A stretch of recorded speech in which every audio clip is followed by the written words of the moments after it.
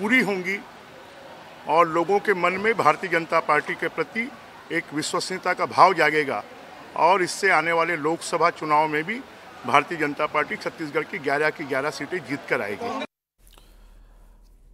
और इसी पर अधिक जानकारी के लिए सीधे हम रायपुर का रुख कर लेते हैं। हमारे सहयोगी रायपुर से युगल तिवारी जुड़ गए हैं इस समय।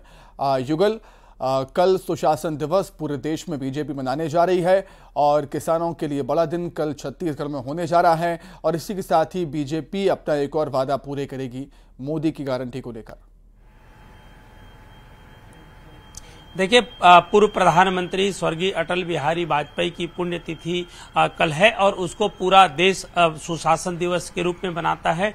और वैसे भी जो किसानों के दो साल के बोनस देने का वादा बीजेपी ने किया था, किसी कारणवश वो जारी नहीं हुआ था। तो लगभग 12 लाख किसान हैं। उन सभी किसानों के खातों में एकमुश्त जो राशि है जो बकाया बोनस है, वो कल बीजेपी एक भव्य आयोजनों के साथ एक खाते में ट्रांसफ़र करेगी। और जिस तरह से ये कहा जा सकता सकता है कि बीजेपी के मैनिफेस्टो में ये वादा था कि जैसे ही बीजेपी की सरकार बनती है छत्तीसगढ़ में तो उसके बाद किसानों की जो बकाया बोनस है, वो उनके खातों पे सीधा हस्तांतरित कर दिया जाएगा। तो कल छत्तीसगढ़ के मुख्यमंत्री विष्णुदेव साय, सभी किसानों के जो लगभग 12 लाख किसान हैं उनके खातों में रास, जो राशि है वो ट्रांसफ़र करेंगे। तो उसे लेकर के हालाँकि राजनीति भी होती रही बोनस की राशि को लेकर के चूँकि अब बीजेपी सत्ता में है तो ऐसे में कल सुशासन दिवस है तो प्रदेश के सभी किसानों को एक बड़ी जो राशि है वो हस्तांतरित किया जाएगा और सीधे एक क्लिक के माध्यम से उनके खातों पर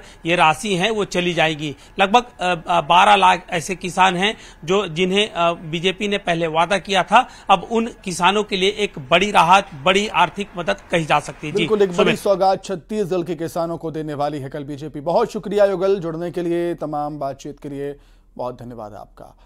तो छत्तीसगढ़ में पूर्व प्रधानमंत्री अटल बिहारी वाजपेयी की जयंती को बीजेपी सुशासन दिवस के रूप में मनाने जा रही है जिसको लेकर अंबिकापुर में जिला प्रशासन ने तैयारियाँ पूरी कर ली हैं। इस बार सुशासन दिवस पर सरकार किसानों को दो साल का बकाया बोनस देगी जिससे प्रदेश के किसान काफ़ी खुश हैं।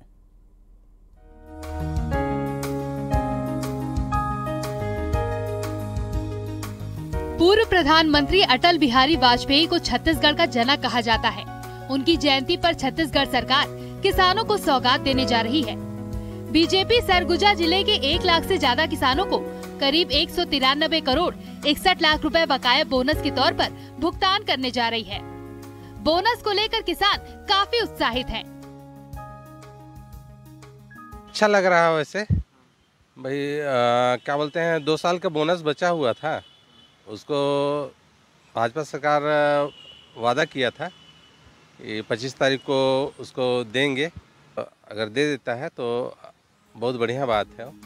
25 दिसंबर को पूर्व प्रधानमंत्री अटल बिहारी वाजपेयी की जयंती पर सुशासन दिवस के रूप में राज्य के सभी जिलों एवं ग्राम पंचायतों में मनाई जाएगी। सरगुजा कलेक्टर कुंदन कुमार ने ग्राम पंचायतों में पहले से निर्मित अटल स्तंभ की साफ़ सफ़ाई और आवश्यक मरम्मत कराने के निर्देश दिए थे। वहीं पीजी कॉलेज के ऑडिटोरियम में जिला स्तरीय कार्यक्रम भी आयोजित किया जा रहा है जिसकी तैयारी लगभग पूरी कर ली गई है। माननीय अटल बिहारी वाजपेयी जी जो छत्तीसगढ़ के के जनक थे आ, उनके आ, उनके तैल चित्र पे माल्यार्पण जो है माननीय जनप्रतिनिधियों द्वारा अधिकारियों द्वारा किया जाएगा। आ, ये कार्यक्रम सवेरे मॉर्निंग में होगा। उसके बाद दोपहर में बारह बजे के आसपास माननीय मुख्यमंत्री जी जो धान धान बोनस का जो वितरण कार्यक्रम है 2014 15 और 15 16 का, जो जिसकी संख्या किसानों की संख्या करीब ज़िले में इकतीस हज़ार है और करीब पैंसठ करोड़ की जो है बोनस वितरण की राशि माननीय मुख्यमंत्री जी द्वारा किसानों के खाते में जो है ट्रिकल के माध्यम से अंतरित की जाएगी। उसका जो जिला स्तर का कार्यक्रम है वो पीजी कॉलेज ऑडिटोरियम में है। अटल सुशासन दिवस के लिए जिला प्रशासन ने लगभग तैयारी पूरी कर ली है।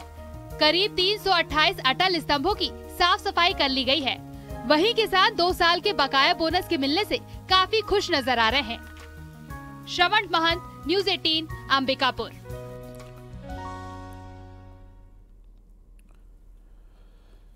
मुख्यमंत्री विष्णुदेव साय अपने दो दिवसीय दिल्ली दौरे से आज रायपुर लौटे। राजधानी पहुँचे। मुख्यमंत्री ने कहा कि पीएम मोदी समेत अन्य केंद्रीय नेताओं से मुलाकात कर छत्तीसगढ़ की विकास योजनाओं पर बात की है। विकास के कार्यों के अलावा जनहित के मुद्दों पर भी चर्चा हुई है। कल देश की राजधानी दिल्ली में हम और हमारे साथ हमारे दोनों डिप्टी सीएम सभी वरिष्ठों के साथ सौजन्य मुलाकात हुई है। सबसे एक ही दिन में मुलाकात हुई है और ये सौजन्य मुलाकात थी। शपथ ग्रहण के बाद ये पहला हम लोगों का दिल्ली दौरा था। तो सभी लोगों ने हम लोगों को आशीर्वाद दिया है, शुभकामनाएँ दी हैं और एक समृद्ध छत्तीसगढ़, खुशहाल छत्तीसगढ़ और भयमुक्त छत्तीसगढ़ बनाने में पूरा सहयोग करने का आश्वासन दिया है। हाँ कल 25 दिसंबर है छत्तीसगढ़ के निर्माता और भारतीय जनता पार्टी के संस्थापक श्रद्धेय अटल बिहारी वाजपेयी जी का जन्मदिन है, जिसको हम लोग सुशासन दिवस के रूप में मनाते हैं। और मोदी की गारंटी में हम लोगों का वादा था कि दो साल का बोनस छत्तीसगढ़ के करीब 12 लाख किसानों को देंगे।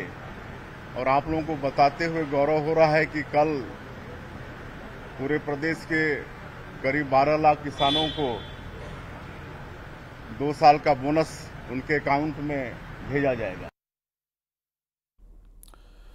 उधर दिल्ली दौरे से लौटे प्रदेश बीजेपी के अध्यक्ष किरण सिंह देव ने कहा कि आदरणीय प्रधानमंत्री नरेंद्र मोदी गृहमंत्री अमित शाह, राष्ट्रीय अध्यक्ष जेपी नड्डा के साथ एक बैठक आयोजित की गई थी, जिसमें आगामी चुनाव को लेकर रणनीतियाँ तैयार की गई हैं। साथ ही संगठनात्मक रूप से आगामी कार्यक्रम को लेकर रणनीतियाँ बनाई गई हैं।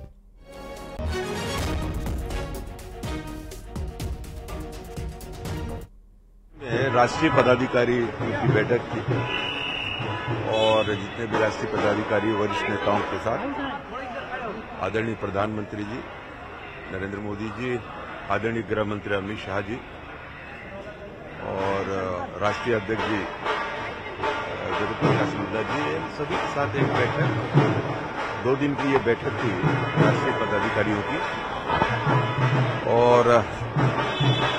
संगठनात्मक विषयों पर आगामी कार्य योजना पर। और विस्तृत बातचीत सभी से वृत्त वृत्तांत, प्रांतव्यापी इस विषय पर दो दिन की वहीं डिप्टी सीएम अरुण साव राजनाथ गाँव पहुँचे, जहाँ साहू समाज की तरफ़ से आयोजित कार्यक्रम में शामिल हुए और इस दौरान सांसद संतोष पांडे समेत बीजेपी के कई नेता मौजूद रहे। और डिप्टी सीएम अरुण साव को सम्मानित भी किया गया इस कार्यक्रम में। लगातार साहू समाज इस प्रकार से रचनात्मक कार्यक्रम लगातार करते हैं और आज जिस प्रकार से युवाओं को मंच देकर उनकी प्रतिभा को बाहर लेकर आना, ये लगातार साहू समाज करता रहा है। मैं जिला साहू संघ राजनांदगांव को इस शानदार आयोजन के लिए बहुत बधाई और शुभकामनाएँ देता हूँ। साव ने कहा कि केंद्र के सहयोग से छत्तीसगढ़ की खुशहाली के लिए काम करेंगे। वहीं कांग्रेस पर तंज कसते हुए कहा कि धीरे धीरे प्रदेश में कांग्रेस अप्रासंगिक हो रही है। मोदी विरोध के उत्साह में देश का विरोध करने में विपक्षी दल नहीं चुक रहे।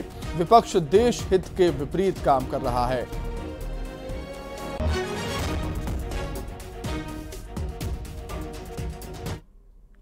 माननीय मुख्यमंत्री जी, का यह विशेषाधिकार है मंत्रिमंडल का गठन करना मंत्रियों के विभाग निर्धारित करना पर मुझे लगता है कि बहुत जल्दी आ, मंत्रियों के विभागों का आवंटन हो जाए। धीरे धीरे करके देश में प्रदेश में कांग्रेस अप्रासंगिक हो रही है।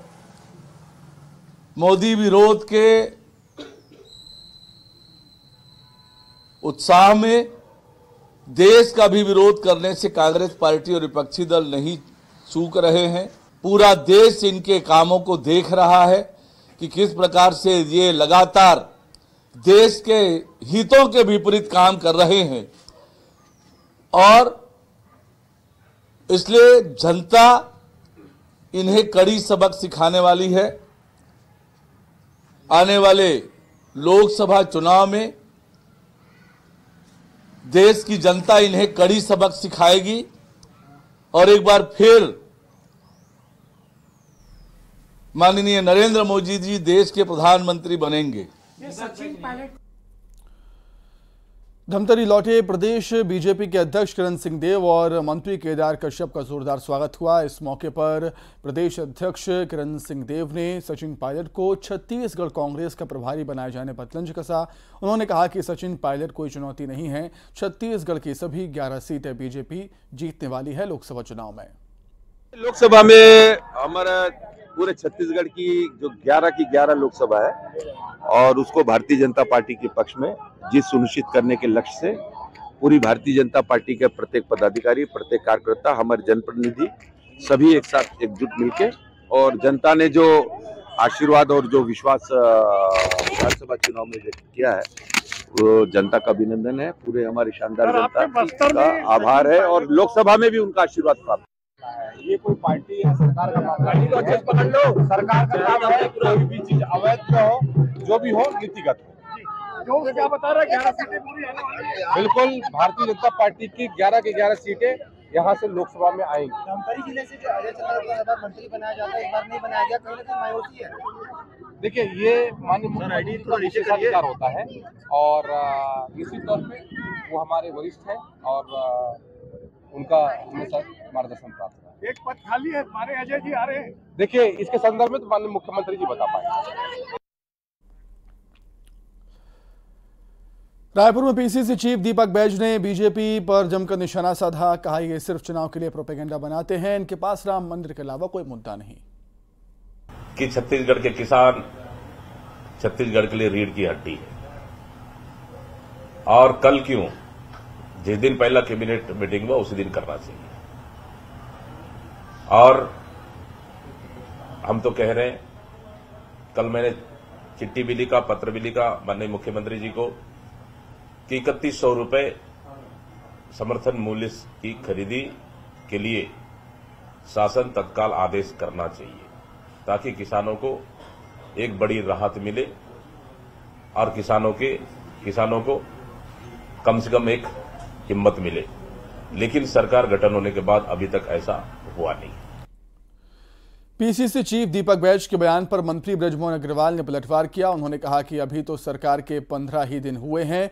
अभी से कांग्रेसी घबराए हुए हैं। जिस दिन अयोध्या में भगवान श्री राम की प्राण प्रतिष्ठा होगी, उस दिन कांग्रेस का सफाया हो जाएगा। ब्रजमोहन अग्रवाल ने सचिन पायलट को प्रदेश प्रभारी बनाए जाने के मुद्दे पर भी निशाना साधा। अभी तो पंद्रह दिन हुआ है। वो इतने डरे और घबराए हुए हैं। जब 22 जनवरी को अयोध्या में विश्व के जननायक जन जन के मन मन के प्रणेता भगवान राम का और फिर से भव्य उनके जन्म स्थान पर मंदिर बन बन गया और उसका उस दिन प्राण प्रतिष्ठा होगी।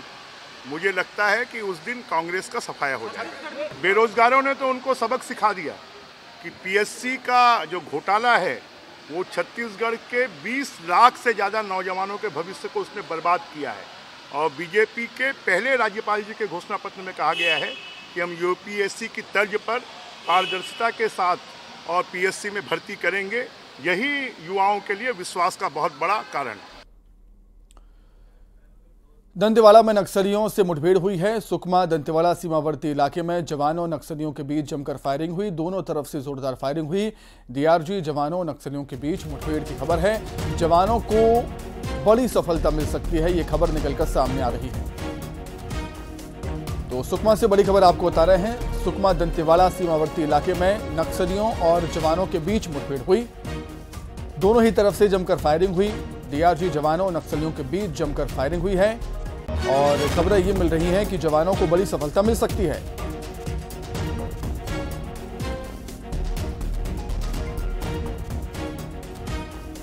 लगातार हम देख रहे हैं, सुरक्षा बल के जवान नक्सलियों को बैक बैकफुट पर ढकेलने में लगे हुए हैं। अधिक जानकारी के लिए हम बातचीत करेंगे। हमारे संवाददाता दिनेश गुप्ता जुड़े हुए हैं फ़ोन पर। दिनेश, फ़िलहाल क्या कुछ जानकारी इस मुठभेड़ को लेकर? जी, मैं आपको बता दूँ कि आज पुलिस और नक्सलियों के बीच ज़बरदस्त मुठभेड़ हुई है। यह मुठभेड़ सुकमा और दंतेवाड़ा के सीमावर्ती क्षेत्रों पे हुई है। यह डब्बा कुंडा के इलाके में लगातार दोनों ओर से फायरिंग हुई ऐसा बताया जा रहा है कि दोनों ओर से जो फायरिंग हुई उसमें नक्सलियों को कहीं ना कहीं नुकसान पहुँचा है। और यह anti Naxal operation SP Gaurav Rao की निगरानी में जारी है नक्सलियों के खिलाफ ऑपरेशन में। जी। ठीक है, दिनेश, बहुत धन्यवाद आपका जुड़ने के लिए।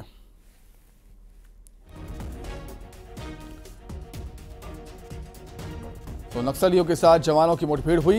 एंटी नक्सल ऑपरेशन के तहत, नई रणनीति के तहत नक्सलियों से अब निपटा जाएगा। बैठक में फैसला हुआ था। डीआरजी के जवान और नक्सलियों के बीच जमकर मुठभेड़ हुई है और मुठभेड़ के बीच खबर यह निकलकर सामने आ रही है कि जवानों को एक बड़ी सफलता मिल सकती है। दंतेवाड़ा में नक्सलियों से जवानों की मुठभेड़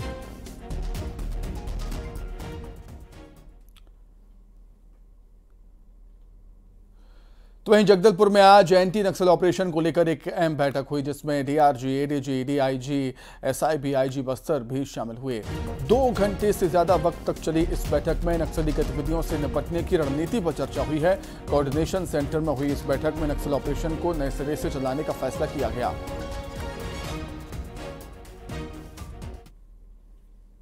वर्तमान में नक्सल विरोधी अभियान की क्या कुछ परिस्थिति है और आगामी दिनों में किस रणनीति के तहत हमको कार्य करना चाहिए? इस संदर्भ में आज एक समीक्षा बैठक हुई है। पुलिस मुख्यालय से डीजीपी महोदय एडीजी नक्सल ऑपरेशन एवं संभा के सभी पुलिस अधीक्षकगण आज इस बैठक में उपस्थित रहा और वर्ष 2023 में अब तक क्या कुछ हमारा उपलब्धि रहा और आने वाला जो पाँच छः महीने जो प्रमुख रूप से जो ऑपरेशन सीज़न रहा, इस दौरान हमको किस किस तरीके से आगे कार्रवाई करना चाहिए और हमारा क्या कुछ ताकत रहा किन इलाका मामलों का और बेहतर काम करने के लिए गुंजाइश है। इन सब के बारे में बारीक से डिस्कशन हुआ और हाल फ़िलहाल में जो घटनाक्रम भी घटित हुआ है, इसको किस तरीके से हमको आने वाले समय में रोकथाम के लिए और जो घटना का अंजाम देने वाला जो माओवादी के खिलाफ और प्रभावी रूप से कैसा कार्रवाई कर सकता है, इन सब तमाम विषय पर काफ़ी एक विस्तार रूप से समीक्षा बैठक हुई। रायपुर पुलिस लगातार गुंडा बदमाशों के साथ साथ कबाड़ियों पर भी नकेल कसना शुरू कर रही है। बताया जा रहा है कि पुलिस ने 18 कबाड़ियों पर कार्रवाई की, जिसमें हज़ारों कुंटल कबाड़ भी जब्त किया गया। वहीं अलग अलग मामलों में चौसठ गुंडा बदमाशों को गिरफ़्तार किया गया। रायपुर में कबाड़ी चोरी के लोहे और कबाड़ को खपाते हैं और अब पुलिस इन पर नकेल कसने का काम कर रही है। लगातार एक शिकायत मिलती रहती है कि कई बार जो छोटी छोटी चोरियाँ होती है, जो लोहे के या सामानों के, वो कबाड़ियों के यहाँ बेच दिया जाता है। तो उसको लेकर वरिष्ठ अधिकारियों के निर्देश पे कल एक व्यापक अभियान चलाया गया था और जिनके यहाँ भी इस प्रकार से जो भी सामान मिले तो उनसे क्योंकि वैध दस्तावेज़ की मांग की जाती है, इकतालीस एक चार के तहत कार्रवाई की गई है उनके खिलाफ में। अगर कोई भी वैध दस्तावेज़ अगर प्रस्तुत करते हैं तो वो छोड़ दिया जाता है, अदरवाइज़ उनके खिलाफ में कार्रवाई की जाती है। उधर रायपुर में एसआई भर्ती परीक्षा को लेकर अभ्यर्थियों ने जमकर प्रदर्शन किया और इस अभ्यर्थियों की मांग है कि एसआई भर्ती परीक्षा को रद्द किया जाए। अपनी मांग को लेकर प्रदर्शनकारियों ने सुभाष स्टेडियम से लेकर अंबेडकर चौक तक रैली निकाली। अभ्यर्थियों का आरोप है कि भर्ती प्रक्रिया में गड़बड़ी की गई है, लिहाजा इसे रद्द किया जाना चाहिए।